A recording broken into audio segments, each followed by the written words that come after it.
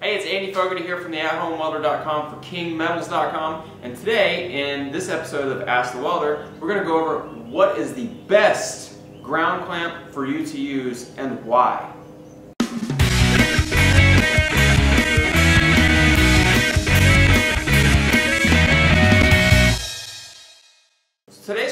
Coming from uh, a fan over on the King Metals Facebook fan page. We post a lot of great videos up there. Uh, myself and Mitchell Dillman from logfurnitureHowto.com. Check him out too. We're both posting some great things on the King Metals Facebook fan page, so go check that out. But today, this question comes from one of the fans who saw a recent video we posted there about wire speed.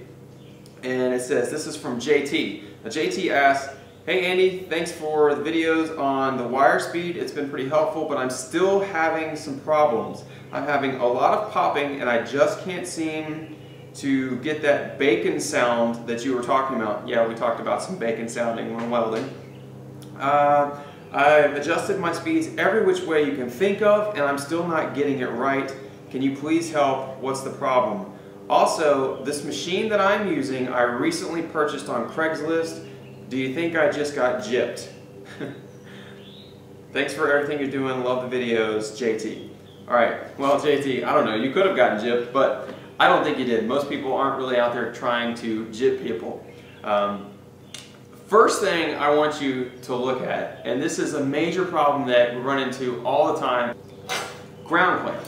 First thing you need to do always, especially when buying a new or a used welder, is check your ground clamp. Now here's why.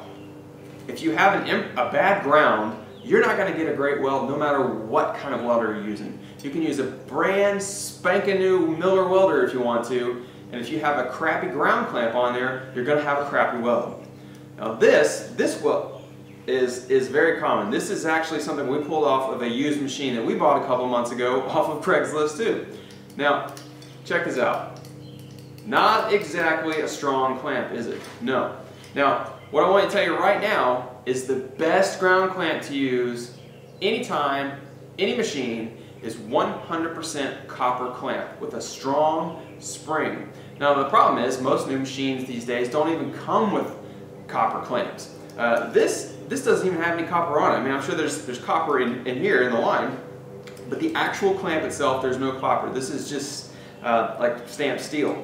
And, but new machines, they do have some copper on the clamps. They, they have like a steel clamp like this, and then just in the teeth, you'll actually have some copper teeth. Problem is, the whole clamp isn't copper, and copper is the best conductor that there is. That's why all of our wiring is made out of copper. So when your clamp isn't made of copper, you're losing a lot of power there. And especially if you have a very crappy spring like is on this one, which is very common in used welders. I mean, you know, welders get put through a lot of crap, and especially the clamps, like you can see on this one, it's been beaten to death. So JT, what I want you to do is I want you to check your clamp. I've got a pretty good idea that your clamp probably looks something like this. Now, where do you go get your copper clamps? Well, the best bet is going to go to a welding supply store. They're probably not going to have 100% copper clamps for you to replace like at Home Depot or Lowe's. You might, but I don't think that you will. Probably just depends on the area that you're, you're in.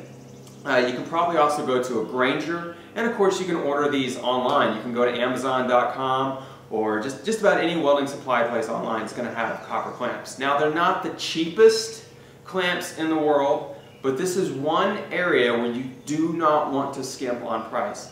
This is incredibly important to have a great ground, because without the great ground, you have crappy welds, no matter what your settings are.